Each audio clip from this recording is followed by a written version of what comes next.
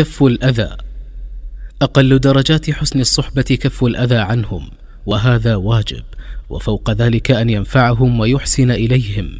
وأعلى من ذلك أن يحتمل الأذى منهم ويحسن مع ذلك إليهم وهذه درجة الصديقين. ومن كلام الحكماء من أحسن إلى من أساء إليه فقد أخلص لله شكرا ومن أساء إلى من أحسن إليه فقد استبدل نعمة الله كفرا.